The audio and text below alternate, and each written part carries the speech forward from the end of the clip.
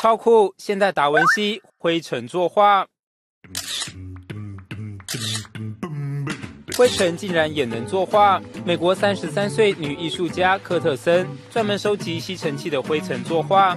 她先以油彩画好人物后，再以胶水构图，最后撒上画中人家里吸尘器吸到的灰尘，完成独一无二的灰尘画，可说是现代达文西。